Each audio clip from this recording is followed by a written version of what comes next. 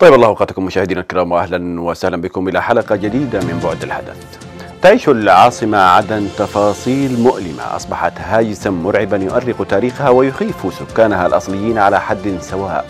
فحالة من اللا حرب ولا سلم يعيش تفاصيلها المواطنين في البسط على مؤسسات الدولة واستهدافها وحرقها أحيانا هو سيناريو يومي يعيشه المواطن في عدن وتثار الأسئلة عن من يقف وراء هذا التخريب الممنهج وعن ما هي خيارات الحكومة الشرعية في ظل هذا الواقع المؤلم لعدن. هذا هو موضوع حلقتنا لهذا الأسبوع مشاهدينا الكرام سنبدأ ولكن بعد هذا التخريب ارتبط اسم عدن عبر تاريخها بالعلم والعلماء. حتى كانت في التاريخ القريب تعج بالمكتبات العامة والخاصة والثابتة والمتنقلة. والأنشطة الثقافية والعلمية ودور النشر والصحف والمجلات وكانت موئلا لعشاق المعرفة وأرباب الأقلام وحملة العلوم. وزخرت عدن بالكثير من المواقع والمعالم الأثرية والتاريخية والتي تعتبر من الأقدم في الجزيرة العربية.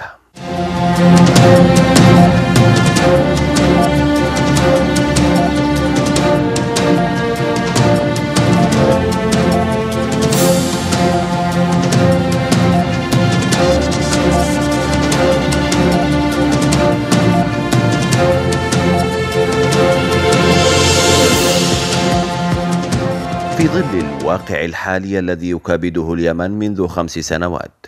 ظلت عدن تقاوم وبقي من أهلها من يحمل شموع الأمل ولكن أمواج الظلام العاتية تستكثر على أولئك الطيبين أن يشقوا عبابها ببصيص من نور خافت.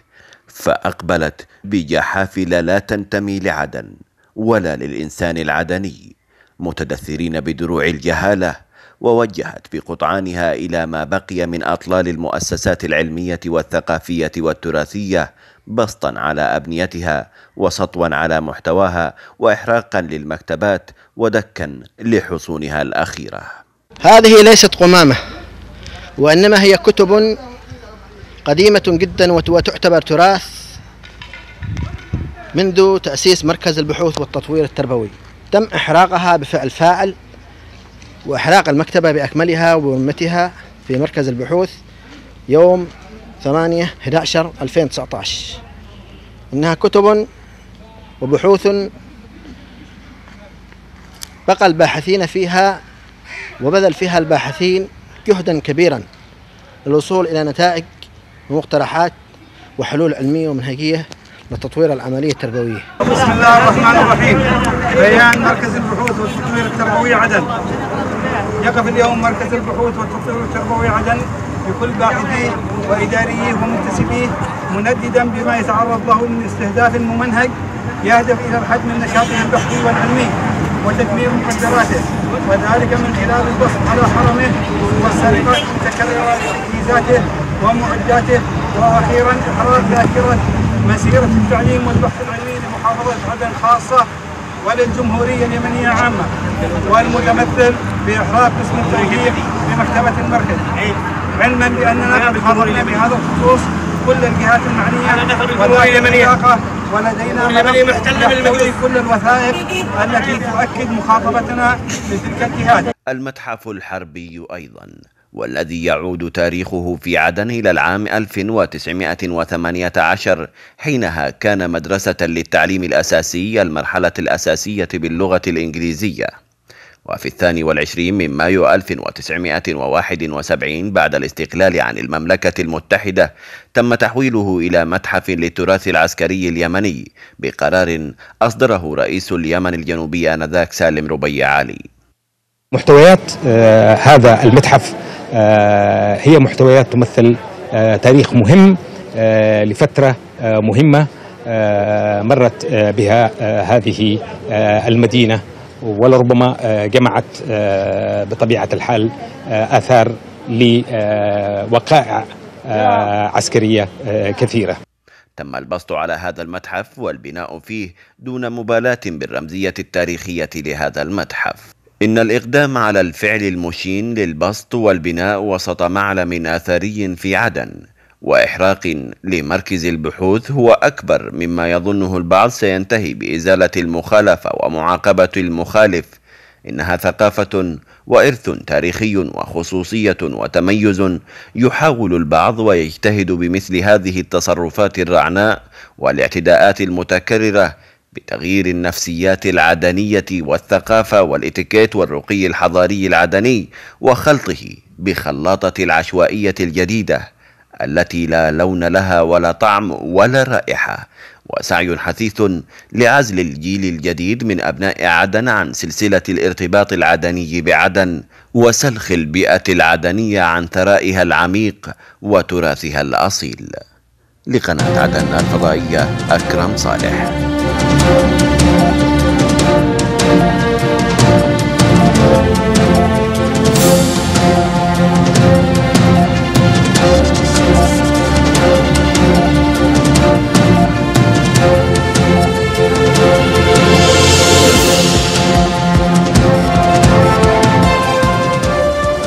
أهلا بكم من جديد مشاهدينا الكرام. ستنضم إلي الدكتوره اسمهان علس استاذه جامعية ورئيسه الجمعية اليمنية للت... الأمين العام للجمعية اليمنية للتراث والتاريخ. أهلا وسهلا بك دكتورة اسمهان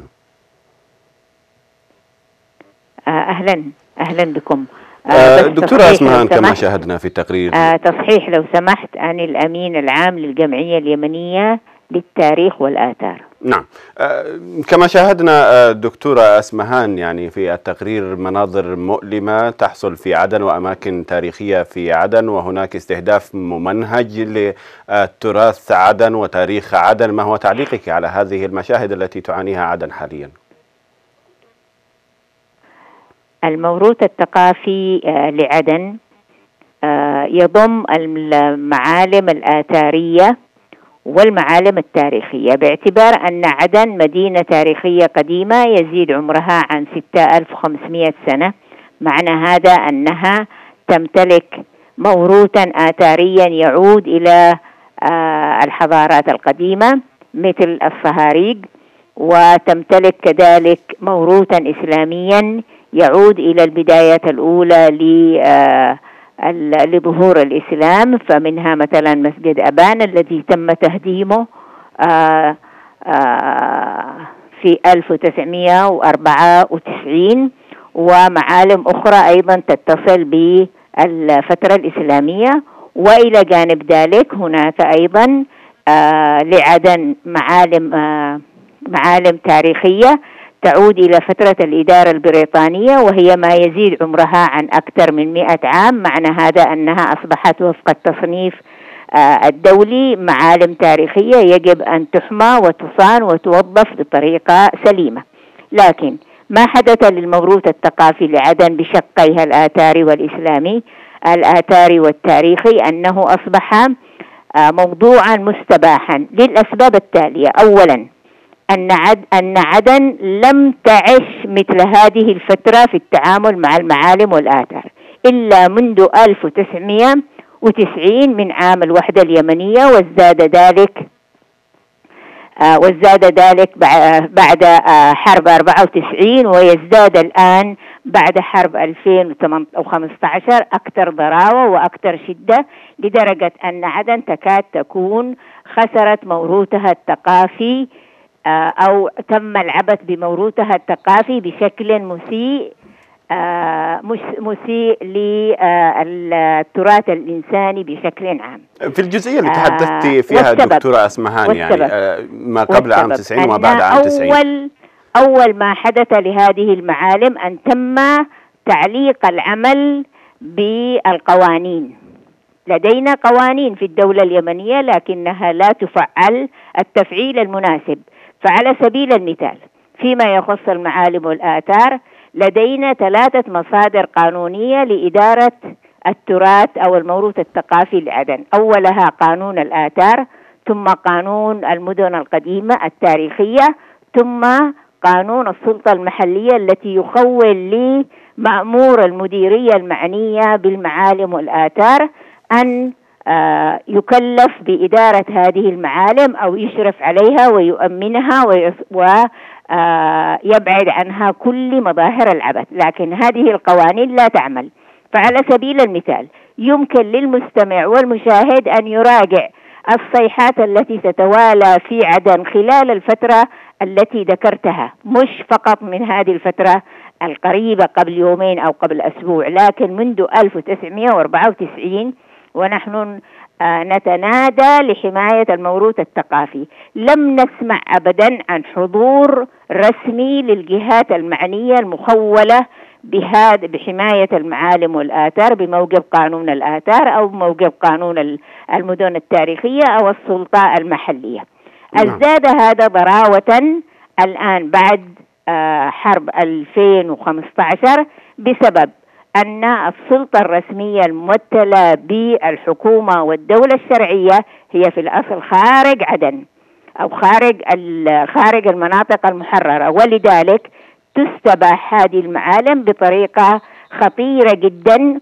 وبطريقة غير إنسانية وبطريقة ممنهجة لأنها لا تجد الرادع القانوني والأمني الذي آه الذي يحميها ويصونها ويبعد عنها مثل هذه الأضرار. ولذلك تتنادى منظمات المجتمع المدني يتنادى المجتمع الأهلي يتنادى كل الأقلام الخيرة والأصوات المحبة لعدن لكن ليس هناك من صوت مسؤول يتحمل حماية هذه المعالم. فلعلم المشاهد ولعلمكم ولعلم كل الجهات المعنية بهذا الكلام أن هذه المعالم آه لا توجد فيها حراسة أمنية تبعد عنها الضرر فخسرت مثلا عدن أهم معلم تاريخي أو أهم معلم آثاري في العالم كله هو صهاري عدن الذي ليس له مثيل في العالم نعم. ولذلك انتشر فيها العشوائي والأسوأ من, من هذا أنه تم صرف الماء والكهرباء وتراخيص البناء يعني نوع من الشرعنة لهذا البسط على نعم. هذا المعلم التاريخي. نعم. دكتورة أسمهان ولقطعتك في هذه الجزئية. أنتم يعني أنت الأمينة العامة للجمعية اليمنية للتراث آه، أو للآثار في عدن وكعدنية أولا وكنشطاء ثانيا يعني. ما هو دوركم في آه، إيصال حقيقة هذا الواقع للحكومة الشرعية للمعنيين لليونسكو للمنظمات المعنية بهذا الأمر؟ منذ 1005 آه، منذ 2005 ونحن نتواصل مع السلطة المحلية وهذا بالطبع عندما أقول السلطة المحلية إنما يتمثل في شكل من جالس على على الكرسي. يستمع لنا يتخذ نوع من الإجراءات لكن أنا قلت قبل شوية أنه ازداد شدة منذ ما بعد الحرب العالمية آه، بعد الحرب آه، حرب 2015 بسبب غياب المسؤولين تفلت الناحية الأمنية تعليق العمل بالقوانين وليست فقط هي معالم وآثار عدن التي تستباح فيما بعد الحرب العالمية بعد الحرب حرب 2015 لكنها أيضا الأراضي البيضاء التي هي تعتبر مصدر تنموي للبلاد بشكل عام وأراضي المواطنين والجبال بشكل عام. جبال عدن كلها جبال ذات سمة بركانية خطيرة في في البناء فوقها لكن مع ذلك لا رادع قانوني ولا رادع رسمي لها. متى يعمل القانون؟ بوجود المسؤولين على الكراسي. ولهذا آه، أصبحت هذه الأشياء كلها من مظاهر العبث في عدن والتي تندر بكارثة كارثة أولا بيئية كارثة ثقافية خسارة إنسانية وإلى جانب ذلك خسارة تنمويه إذا ما عرفت الحكومة أن هذه مصدر تنموي أن هذه المعالم هي مصدر تنموي يجب أن تستثمر منذ 2005 ونحن ننادي بعدم محمية تاريخية.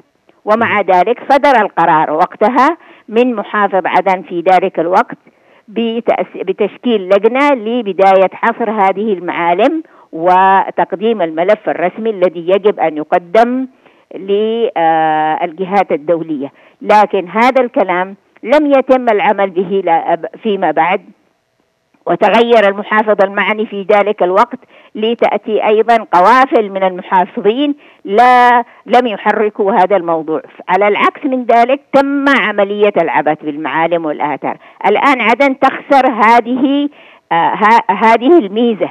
لأن إعلان إعلان أي مدينة تاريخية في العالم يجب أن يكون هذه المدينة محافظة على أصولها التاريخية ولا يتم العبث بها. لكن بالطبيعي الوضع الحالي للمعالم يبشر بأن عدن لن تعلن محمية تاريخية بسبب ما لحقها بها ما لحق آه، بها من تشويه وتدمير وتغيير.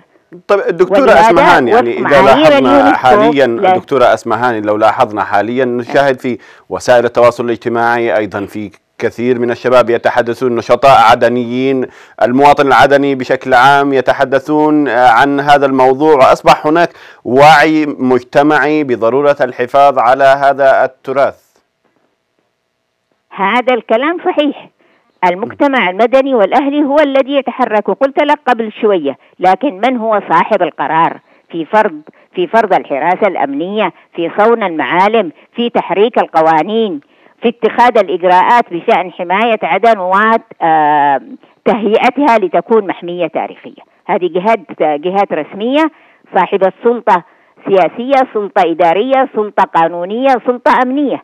أما المواطن فهو يلعب دور كبير جدا في التوعية. يعني أنا كناشطة منذ آه، آه، سنة 2000 في هذا المجال ونحن نتداعى لحماية عدن أشعر بفارق كبير ما بين الدعوة التي بدأناها في ذلك الوقت والحالة الآن التي عليها المواطن. المواطن الآن أكثر أكثر آه اندماجا في آه في هذه الدعوة. لكن هذا الكلام يحتاج سلطة تتخذ الإجراءات. نعم. إذا كان نحن على الساحة إذا كان نحن على الساحة الجهات المعنية نحن لا لا نريد لا نريد من الدولة أن تتعامل معنا بأنه لما لما نحن نصيح أو نبلغ عن خطر يتعرض له المعالم أن نأتي ونعالج ذلك الخطر. لا نحن نشتي من البداية نحن لا يجب أن تدار المعالم بأسلوب الفعل ورد ورد الفعل.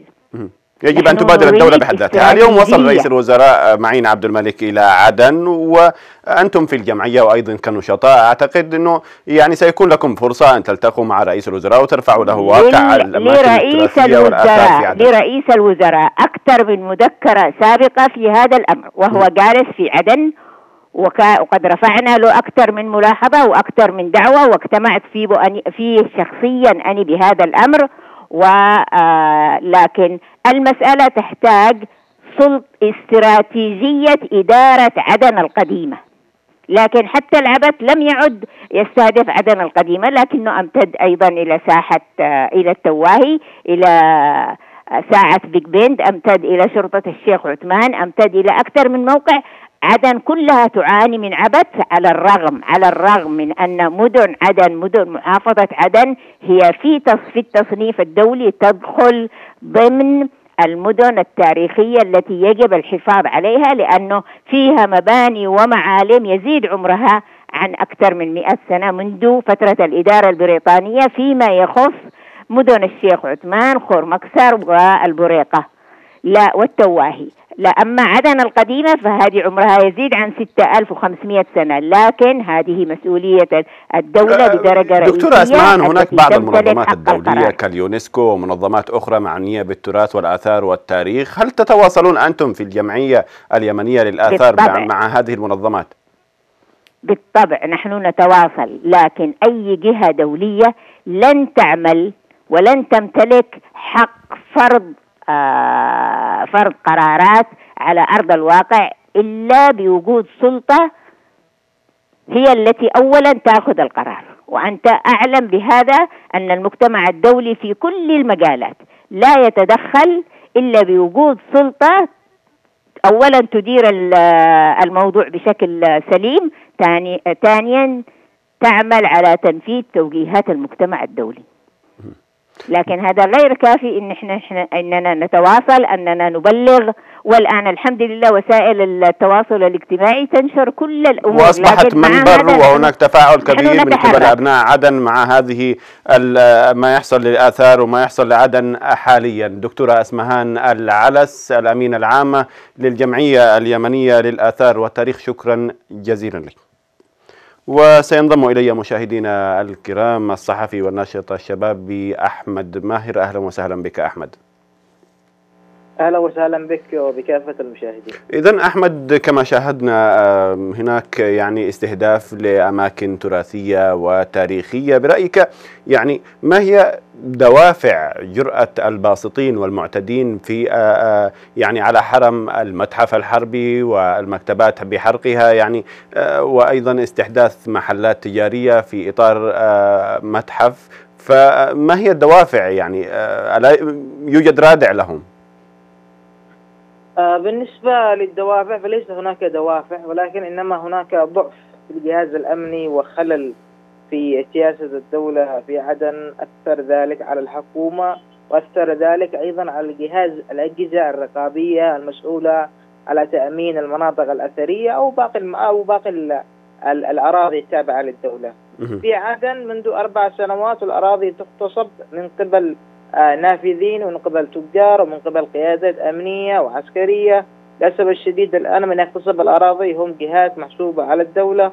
للأسف الدولة إلى حد الآن لم تطلق أي تصريحات إعلامية ولم حتى تنزل إلى أرض الواقع لمتابعة هذه الأراضي. وهناك لدينا هيئة كاملة للأراضي في عدن موجودة لكن لم تتحرك ولم يكن لها أي دور في عملية الحفاظ على الأراضي في عدن أو حتى بالنسبة للآثار. المتحف الحربي كان أحد الضحايا النافذين الذين أرادوا السيطرة على الأماكن الأثرية والأماكن العامة في محافظة عدن ولولا الناشطين في مواقع التواصل الاجتماعي والإعلاميين الذين أثاروا ضجة بالمناشدة بتصحيح ما حصل في المتحف الحربي فلسوف يكون هناك سكوت هناك كثير من الأراضي تم نهبها في محافظة عدن منذ أربع سنوات وهي تغتصب من قبل النافذين والتجار. فلا بد من وجود صحوة مجتمعية أولا ومتابعة من قبل الحكومة الشرعية والجهات المختصة ثانيا.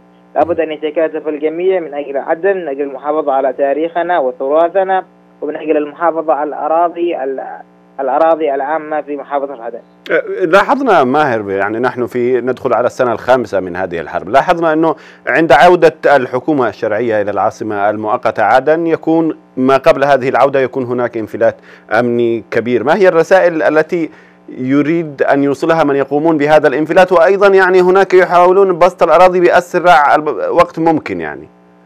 الانفلات الأمني هذا له أربع سنوات إلى حد الآن. ليس مرتبط بعودة الحكومة وإنما مرتبط بضعف الجهاز الأمني الموجود في العاصمة المؤقتة عدن. ليس لدينا جهاز أمني تابع للدولة في العاصمة المؤقتة عدن وإنما لدينا أجهزة أمنية تابعة لقيادات سياسية أو لأحزاب أو لديها انتماءات أخرى ولا تنتمي إلى وطن يسمى اليمن.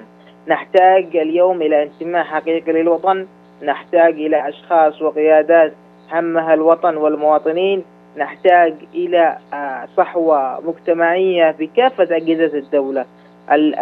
الأخطاء الأمنية الموجودة في عدن لا تستطيع أن تحصيها من كثرها. هناك أخطاء كثيرة سببت في الاغتيالات وسببت في الانفلاتات وسببت, وسببت حتى في اغتصاب الأراضي في العاصمة المؤقتة عدن أخطاء كثيرة جدا.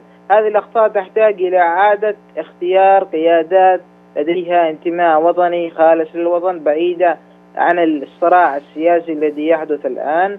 نحتاج إلى قيادات أكفاء نحتاج إلى معيار سليم في اختيار القيادات في المناصب القيادية في الدولة حتى يكون حتى يضعون بصمة في هذه المراكز. لأننا منذ أربع سنوات نرى أن كل التعيينات التي تحدث الآن ليس لديها معيار الكفاءة. وإنما معيار مناطقي أو معيار سياسي. وفي هذه الجزئية تحديدا يعني نرى هناك بدأ وعي اجتماعي في أبناء محافظة عدن هناك في وسائل التواصل الاجتماعي شكلوا جبهة ضغط أيضا على الواقع. الكثير من ناشطي عدن بدأوا يتحدثون عن هذا الاستهداف الممنهج لتراث ولتاريخ عدن وخصوصا في الأيام الأخيرة وفي ما بعد هذه الحرب وبأحقيتهم أيضا بحكم مدينتهم. ما هي الرسائل التي نستشفها من هذا الحراك والوعي الجمعي العدني حاليا؟ أربع سنوات هنا نتحدث أن أبناء عدن مظلومين وأبناء عدن مهمشين وأبناء عدن محرومين من الوظائف العامة. بكل محافظة من محافظات الجمهورية اليمنية أبناء المحافظة هم من يديرون محافظاتهم مثل حضرموت والمهرة وباقي المحافظات. ومارب إلا عدن. عدن لا يدورها أبنائها المحافظ ليس عدني. ومدير الأمن ليس عدني. وأكثر الموظفين في عدن ليس عدنيين. العدنيين تم تهميشهم من الوظائف الحكومية. أبناء عدن والإعلاميين والناشطين والمثقفين وكل هذه الفئات طالبت وقالت نريد مدير أمن ومحافظ من أبناء عدن. نريد الاستفادة من الكوادر العدنية. نريد حكم مدينتنا. وهذا أبسط شيء. وهذا يكفل لدينا القانون. ومخرجات الحوار الوطني الذي يسمح لكافة أبناء المحافظات بإدارة محافظاتهم. وهذا الوعي المجتمعي آه، ظهر بعد أربع سنوات من الظلم والتهميش لأبناء عدن في العاصمة المؤقتة. من حقنا كأبناء عدن أن نحكم محافظتنا. من حقنا أن نتقلد مناصب في الدولة. من حقنا إدارة محافظاتنا مثل باقي المحافظات الجمهورية اليمنية. من حق أبناء عدن أن يدافعوا عن أرضهم وتراثهم. الذي يغتصب منذ أربع سنوات عدن مدينة الثقافة والفن والحضارة لكن للأسف حولوها إلى قرية من عاصمة اقتصادية وعاصمة للدولة. أصبحت إلى قرية صغيرة تفتقر إلى أبسط المقومات من كهرباء وماء وطرق وحتى الأراضي التي كانت موجودة في عدن بمساحات كبيرة جدا أصبح الآن لا يوجد أراضي مفتوحة. أصبحت كلها أحواش وكلها مدن تابعة لتجار ونافذين وقيادات للأسف الشديد حتى في الشوارع العامة. لم تسلم المقابر ولم تسلم الأماكن السياحية والأثرية ولم تسلم الشوارع الرئيسية. حتى البحر لم يسلم من هؤلاء النافذين وهذا بسبب الضعف أو عدم وجود الجهاز الأمني في العاصمة المؤقتة عدن أن ليس لدينا جهاز أمني تابع للدولة إنما تابع لجهات سياسية فقط.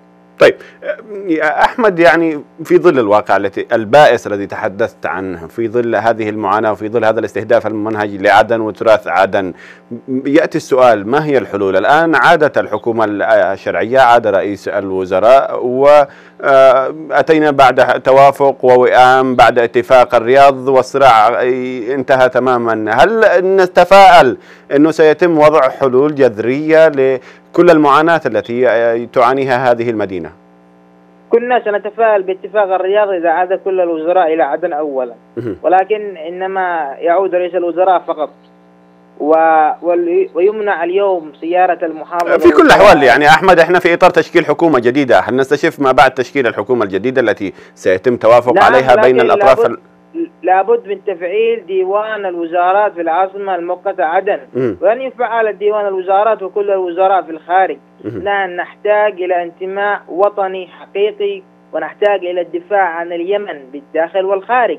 نحتاج إلى إعادة تفكير بما يحدث في العاصمة المؤقتة عدن. الصراعات السياسية نضعها جانبا نعم. ودخلنا في اتفاق ووافقنا عليه نعم. ولكن نحتاج الآن إلى الاتجاه لعملية البناء. إلى حد الآن أول بند بنود الاتفاق بنود اتفاق الرياض لم ينفذ إلا بعد 14 يوم. باقي البنود متى سوف تنفذ؟ الآن نزل رئيس الوزراء إلى عدن لكن سنرى كيف سينفذ باقي بنود اتفاقية الرياض سوف تستمر آلية عمل هذه البنود ونحن نراقب وننتظر. نحن نريد العودة كلنا للعاصمه المؤقتة عدن. أنا شخصيا أريد العودة إلى العاصمة المؤقتة عدن ولكن للأسف الشديد إلى حد الآن العاصمه المؤقته تحت إدارة المجلس الانتقالي وليس تحت إدارة آه، التحالف العربي. هو حصل اتفاق الرياض بطبيعة الحال أحمد سيكون هناك يعني سيعود يعني بعد اتفاق الرياض سيكون حالة من الوئام والتوافق ما بين الجميع وسيكون يحق لكل مواطن يمني في أن يعود إلى محافظته ويعيش حياته بشكل طبيعي. آه، الصحفي أحمد ماهر كان معي على الهاتف شكرا جزيلا لك. وسينضم إلي مشاهدينا الكرام الأستاذ مازن الشريف. حتى يكون معي الأستاذ مازن على الهواء سنتحدث مشاهدينا الكرام عن واقع هذه المدينة. يعني كانت معنا الدكتوره إسمهان العرس وتحدثت بحرقة عن الاستهداف الممنهج للأماكن التاريخية والتراثية في عدن وتحدثت أن هذه المدينة كانت مرشحة لأن تكون محمية ضمن المدن التي في اليونسكو وتحدثت عن يعني مما بعد عام 90 بحسب وصفها وصولا إلى عامنا الحالي. هناك استهداف ممنهج لهذه المدينة ولتاريخ هذه المدينة ويبدو أنه لم يعد هناك أي تفاؤل بمستقبل قريب يعيد لعدن ألقها ورونقها. لكن سنستفيض في هذه الجزئية مشاهدينا الكرام وسينضم إلي الآن الأستاذ مازن الشريف الناشط المجتمعي. أهلا وسهلا بك مازن. أهلا. نعم. ما زلنا نتحدث اليوم عن عدن وعن الاستهداف الممنهج للأماكن الآثار والمتاحف وتاريخ عدن لو تحدثنا بإيجاز عن أبرز الأماكن التي تم استهدافها الأماكن التراثية والآثار التاريخية لعدن طوال الفترة الماضية. آه، أوكي. هو ممكن البدء أولا بالقول أن اللي يحصل للمعالم في عدن هو عبارة عن تراكمات والإهمال هذا هو عبارة عن تراكم تفاقم منذ عقود. فهذا نتيجة لتراكمات حدثت منذ عقود طبعا. آه ولكن ممكن الاختصار والقول أن المعالم اللي تعاني من الإهمال والتدمير والعبث هي كل المعالم الموجودة داخل مدينة يعني جميع المعالم بدون استثناء. أما عن مراحل العبث الحاصل فآخرها كان في الحرب اللي حصلت في 2015 حيث دمرت وتضررت العديد من المعالم واللي كان لازم يحصل في الفترة هذه أنه يتم سرعة اتخاذ الإجراءات وترميم المعالم هذه. لكن الإهمال اللي حصل في الفترة هذه اللي هي فترة الحرب أدى لتفاقم العبث اللي نشاهده حاليا والحاصل في الفترة الأخيرة من بناء عشوائي من محاولة بسط من محاولة تدمير وغيرها. طيب المواطن العدني البسيط الذي يشاهد هذه المعالم التي تحكي تاريخه وتراثه يعني الذي يعيش في عدن الآن يحمل المسؤولية لمن في استمرار هذا أيوة. الاستهداف الممنهج لتاريخ وآثار عدن؟ آه هو الأكيد أن عدة جهات هي الشركة في اللي حاصل ولكن المسؤول الأول اللي موجود أمامنا هي الحكومة المتواجدة كانت إلى وقت قريب في عدن والتي عادت اليوم أيضا إلى عدن. فكل الدمار والإهمال الحاصل هي لمعالم موجودة في مدينة كريتر القريبة جدا أو التي تقع في في حدودها منطقة معشيق. نعم. فطبعا نحن نلوم في المركز الأول نلوم الحكومة. ونداءاتنا أيضا نوجهها للحكومة بسرعة حماية هذه المعالم واتخاذ الإجراءات اللازمة لوقف العبث. نعم. أه، هناك يعني الإجراءات التي تقومون بها أنتم كناشطين ومهتمين بإعادة إحياء هذا التراث والآثار. ما هي الإجراءات التي أه، تقومون بها والوقفات؟ وهل لها أثر؟ أه، إلى وقت قريب كان لها أثر ولكن في الفترة الأخيرة الأثر ضعف وتضاءل والسبب أنه يعني زمان كان صوتنا مسموع أكثر من الآن. والسبب هو الفوضى الحاصلة في في عموم آه، اليمن هذه الفوضى والحرب الحاصلة وال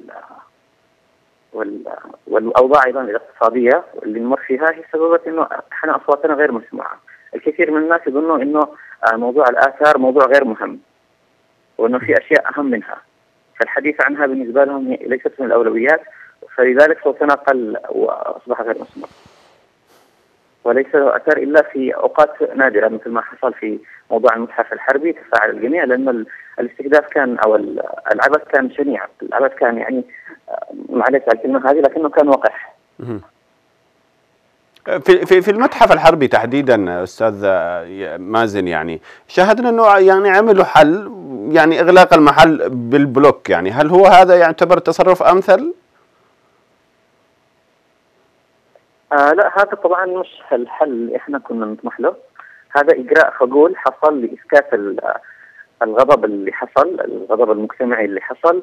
هذه كانت طريقة فقط لإسكاته إنه إحنا تحركنا وقمنا بإغلاق المحل. طبعا هذا ليس المطلوب. المطلوب آه أولا كان الإغلاق طبعا وإيقاف استمرار البناء وإكمال المحل. آه لكن المطلوب حاليا هو إنه البدء بجدية بتفكير آه والاستعداد لترميم المتحف طبعا على يد أخصائيين وخبراء في هذا المجال وممكن الاستعانة بمنظمات آه العاملة في هذا المجال والمتخصصة. آه اولا الترميم ثانيا آه نتساءل فين الآثار اللي كانت موجودة في في المتحف. نعم يعني إلى الآن هناك فين الآثار؟ هل نعم. زالت موجودة؟ إيش اللي اختفى منها؟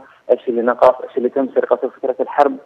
إيش اللي أخذوه الجماعات اللي كانت مسيطرة على المتحف في ذاك الوقت في فترة الحرب طبعا؟ آه فكل هذا مجهول ومش عارفين إحنا أصلا هل في دور تقوم به الهيئة العامة للآثار في حصر وقرب القطع الموجودة والمنهوبه أم لا؟ وهل في أصلا دور أو تحرك ونية جادة لترميم المتحف أم لا؟ هذا كله إحنا نجهله وما فيش جهة أمامنا اللي يمكن نتخاطب معها أو ممكن نسمع منها ولا في أي جهة حكومية طلعت وصرحت أو نددت أو استنكرت اللي حصل للمتحف. كل يحصل لاثار عدم كاملة. يعني الآن عاد رئيس الوزراء وهو سؤال محوري عاد رئيس الوزراء إلى العاصمة المؤقتة عدن وعاد جزء كبير من الحكومة الشرعية هل نستطيع أن نتفائل بهذه العودة بأن تقوم بعمل حلول جذرية لمثل هذه الاستهدافات وأنتم كنشطاء تستطيعون أن توصلون أصواتكم. يعني أنت قلت سابقا أنه تقومون بوقفات احتجاجية لكن ليس لها الأثر كما هو الأثر السابق بفعل الواقع الذي يكبده المواطن في عدن اولا الموضوع مش متوقف عند الوقفات الاحتجاجية والتنديد عبر وسائل الإعلام. والسوشيال ميديا. آه، في كثير من المطالبات اللي وصلت وصلت أوراق لمسؤولين كثيرين موجودين كانوا في عدن. من ضمنهم وزير الثقافة آه، أوصلت له الدكتورة اسمهان العلس نوجه لها طبعا تحية.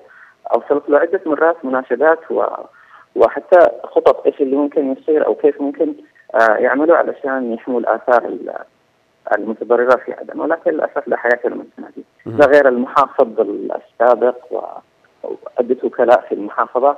بعثنا لهم بتقارير بعثنا لهم بمناشدات ولكن للأسف ما حد استجابها غير كذا قمنا بنشر تقرير عن المعالم اللي تضررت بعد الحرب مباشرة لجميع وسائل الإعلام كنوع من أنواع التصعيد إنه يمكن الحكومة تسمع لكن للأسف الشديد ما سمعش إحنا في الوقت الحالي ما معنا غير إنه نتفائل ونتمنى من آه، آه، رئيس الوزراء إنه يتحرك وبشكل عاقل لحمايه هذه المعالم لأنه دي معالم.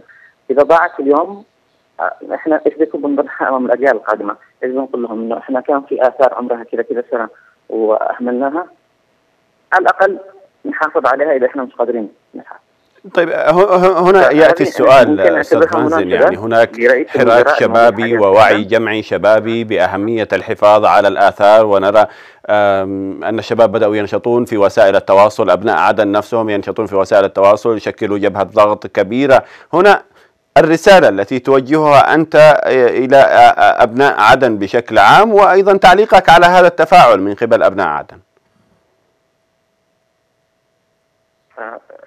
يشكروا على التفاعل الكبير والعظيم اللي حصل في الفترة الأخيرة من تنديد عبر وسائل التواصل الاجتماعي أو من الوقفة اللي خرجوا فيها أيضا. لكن المجتمع بيضغط لكن بيضغط على من؟ هنا السؤال. لا يوجد من يضغط عليه ولا يوجد من يحمله المسؤولية هنا الإشكالية الأكبر. أنه يصير في الأيام القادمة نعم. إذا الأستاذ والناشط المجتمعي مازن الشريف كان معي من العاصمة المؤقتة عدن. شكرا جزيلا لك. إذا آه، مشاهدينا الكرام هناك حراك شبابي هناك وعي جمعي تشكل بفعل الواقع الذي يكابده عدن بفعل الواقع الذي يكابده العدنيين. آه، استهداف ممنهج لتاريخهم لتراثهم. كانت معي الأستاذة أسمهان العرس وتحدثت أيضا الأستاذ مازن الشريف تحدث عن هذا الاستهداف الممنهج لعدن وتاريخ عدن وتراث عدن. وقاموا مشكورين بوقفات احتجاجية لإيصال رأيهم. لكن كما قال لا يوجد لا يعرفون يعني من يحملون المسؤولية في ظل ضبابية المشهد في عدن. في ظل آه، يعني هناك إشكالية كبيرة في عدن. وهنا نوجه رسالة للمعنيين نوجه رسالة أيضا لرئيس الوزراء الذي هو حاليا في عدن بأن آه، هذه المدينة لها أكثر من 6500 عام وتستحق لفتة جادة آه، ضد هذا التدمير الممنهج والبسط المتوالي ضد تاريخ تاريخها ضد تراثها ضد آثارها. فلا بد أن آه، يعني نقف وقفة جادة معها و يعني ننسق مع منظمات المجتمع المدني سواء المحلية أو مع اليونسكو والمنظمات الدولية لإعادة ما دمر وتعود عدن يعود لها ألقها ورونقها. ومشاهدينا الكرام يعني في ظل الواقع الحالي هناك حالة تفاؤل كبيرة في ما بعد اتفاق الرياض بأن يستقر الوضع بأن تعود الأوضاع كما هي في ظل انفلات أمني كبير تعانيه العاصمة المؤقتة عدن نشاهد أن هناك آه، وقفات احتجاجية تقام لتعود عدن آه، يعني ضد التدمير والاستهداف الممنهج. وهنا لدي آه، يعني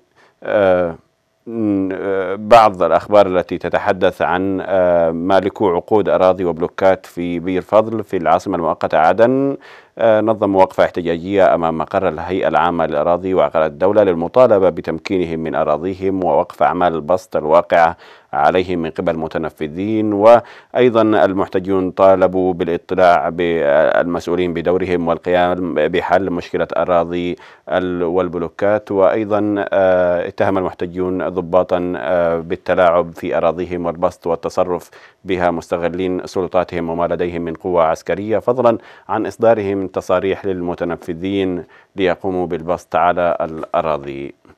آه سينضم إلي مشاهدينا آه، أو ستنضم إلي مشاهدينا الكرام الناشطة الحقوقية نهى البوهي. أهلا وسهلا بك أستاذة نهى.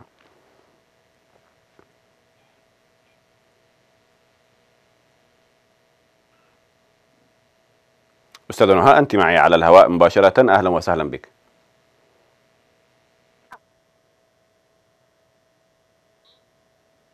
يبدو في إشكالية مشاهدينا الكرام. اليوم مشاهدينا الكرام طبعا عاد رئيس الوزراء الدكتور معين عبد الملك إلى العاصمة المؤقتة عدن لممارسة مهامه وفقا لاتفاق الرياض الموقع بين الحكومة الشرعية والمجلس الانتقالي الجنوبي. ورافق رئيس الوزراء عدد من أعضاء الحكومة والمسؤولين آه، كان في آه، استقبالهم بمطار عدن محافظ عدن أحمد سالمين وقيادات السلطة المحلية وعدد أيضا من القيادات الأمنية والعسكرية. رئيس الوزراء بدوره أكد آه، أن في تصريح لوسائل الإعلام فور وصوله إلى مطار عدن الدولية أكد التزام الحكومة بتطبيق اتفاق الرياض وتطبيع الأوضاع في المناطق المحررة وأولها عدن وإصلاح وضع مؤسسات الدولة واستيعاب آه، كافة القوى السياسية ضمن بنية الدولة. مشيرا إلى أن التحديات أمام الحكومة والشعب كبيرة وتستلزم توحيد كافة الجهود والقوى آه، وراء مشروع استعادة الدولة وبناء المؤسسات.